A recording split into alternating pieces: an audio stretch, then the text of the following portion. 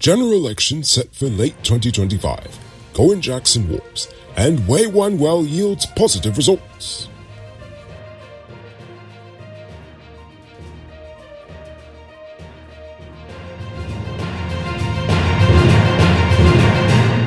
I'm Rico Bullford, and this is Uncut News. You see news happening? Send us a tip on WhatsApp at 592 659 6151. Today, the Vice President announced that Guyanese would vote in general and regional elections in late 2025 instead of in March 2025.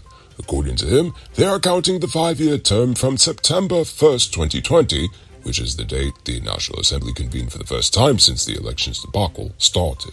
He told the news conference that that means that his party has another two years in office to implement its policies and programs. Region 9 REO Carl Singh may have dodged jail time for drunkenly shooting an indigenous woman in the abdomen, but Singh did not dodge the bus the vice president threw him under today. This afternoon, Jagdeo denied that the central government was involved in the demolition of the PNC office in Region 9, instead laying the blame completely at Singh's feet, saying that the order was under Singh's directive and no one else's. However, Jagdeo added that the building belongs to the state and that the building was being illegally occupied by the opposition party even after three requests to vacate. Although he did conveniently leave out the fact that you actually need a court order before you can evict someone in this country, the notices aren't enough. Nonetheless, the PNC has claimed that it has documents proving it is the rightful owner of the property, but Jagdeo believes that those documents were about as real as those secret statement of Poe's news still hiding from us. Anyway, Jagdeo said that the government is willing to issue a plot of land to the PNC in Lethem for a new office if it goes through the proper channels. The National Data Management Authority has provided free high-speed internet service to Aishalton, Deep South Rupununi in Region 9. The village had previously faced difficulties with data service from Digicel, and some educators were unable to connect to the internet, forcing them to travel to Lethem for reliable connection, while a number of students dropped out of school altogether because they were not able to use the internet to research the things that they need to be researching for school. With the new system, the village council will monitor internet usage and prioritize education purposes. The village's proposed ICT hub will be located at the village office. Tiona October is currently acting as the director of the Child Care and Protection Agency, according to the Minister of Human Services and Social Security, Dr. Vindhya Persaud. The process to appoint a permanent director will commence soon, but the appointment cannot be made in the absence of a Public Service Commission whose term expired in August 2021.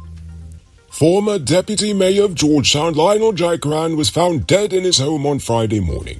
He was discovered at the bottom of his stairway and is believed to have fallen while making his way to the upper flat of his home. Jaikaran served as Deputy Mayor of Georgetown from 2016 to 2018 and was also the former president of the Georgetown Cricket Club.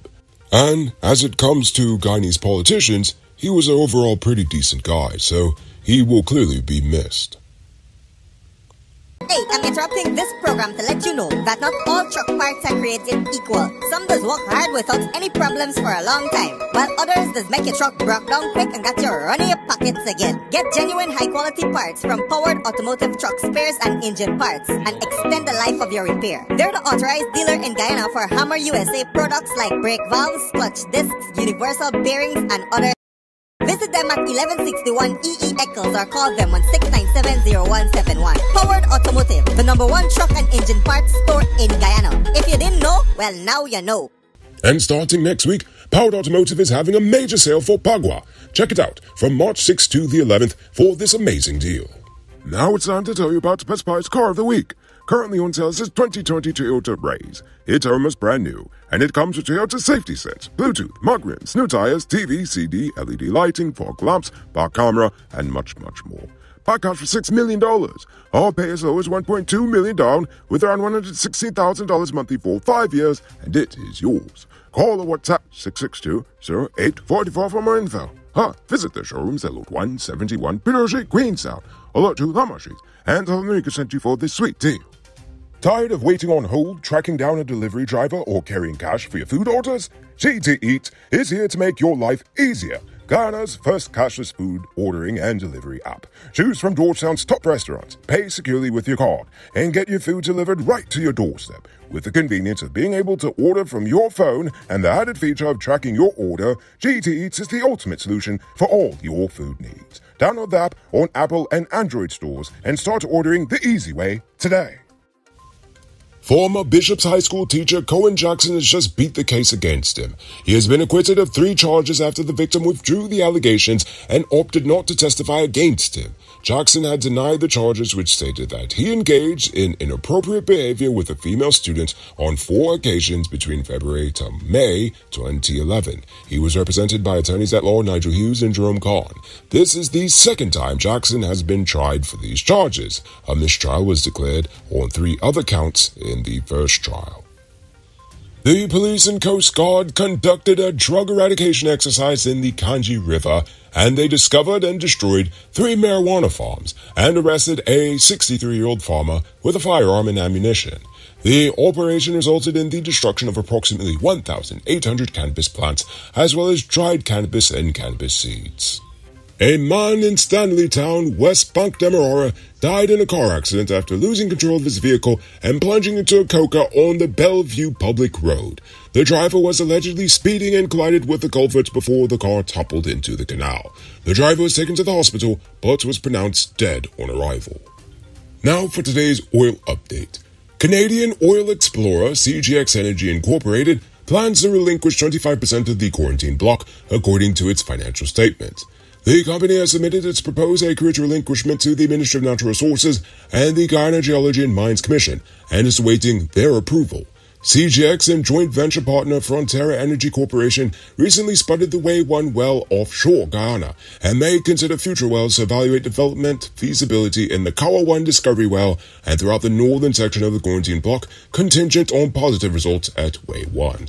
The original Corentyne petroleum agreement was awarded in 1998 and extended to June 2013, renewable after four years for up to six additional years. After commercial production begins, the company is allowed to recover contract costs from cost oil produced and sold from the contract area. CGX Energy's Wei 1 prospect in the Corentyne block has actually yielded positive results in the first round of drilling, with the first prospective geologic horizons being successfully drilled. Drilling has been ongoing at 15,400 feet measured depth ahead of schedule. Future drilling activities on the northern section of the Corentyne block are contingent on further positive results at Wei 1. You can multiply your cash by selling Digicel Top Up. This is a legit way you can earn some extra money at your business or to supplement your current hustle. Become a top offender quick and easy by linking with Cellular Plus. Call them on telephone number 685-3109 for more info. Robbery season might be over, but the streets are still mean. That's why you need to get security for your home or business with Sheriff Security. Sheriff Security has well-trained guards, armed and unarmed patrol, marine patrol, canine services. They speed leaving our drones. Why? Because your security is their highest priority. You've seen the rest. Now hire the best. Hire Sheriff Security Service today. Now for our uncut news, Fierce Poll question of the day. Every day we pose a question about current events in Guyana, the region, the diaspora, and how you fear it relates to us. Last night I asked, what are some other buildings in the nation that should be declared as National Heritage Sites? But before we get to that, I'm proud to announce our latest addition to the Nobull Army, Richard Singh, who is supporting us at the reporter level, the highest level of monthly support we've received so far. So thank you, Richard Singh. And also, a special thank you to David Griffith, Dion Nascimento, Project Zero, and Dimitri V. I appreciate you all. And if you're watching at home and you'd like to support our movement, just hit the link in the video description. Rapfar Norton says, I think the residents of the former home of President LFS Burnham should be declared a historic site. The building is full of history. Who lived there and how they lived there at that period in our history should be preserved. I agree that among many other buildings in this nation. Barefoot Wanderer says the High Court needs a paint job, painted white to enhance the colonial architecture. Just my two cents. And whatever happened to the animals from the private zoo of the dude who got charged with human trafficking? You know, that's a really good question, and unfortunately, it seems like no one bothered to ask. It's a pity. Now for tonight's question how do you feel about the government deciding to extend their term to late 2025? Do you think it's fair given the original five month delay in 2020, or does it leave you a bit concerned? Honestly, given the past behavior of local elections and whatnot, it concerns me just a wee little bit, but hey, that's just me. But I want you to think about that question. Tell us in the comments below. If your response is good enough, we just might feature it in our next episode. Anyway, that's all the time we have for tonight, and check us out on Monday for another. Until then, I'm Rico Bullford saying, have a great weekend. And as always, don't drink and drive, or you'll end up on Monday's episode the hard way. Ha ha! Good night, folks.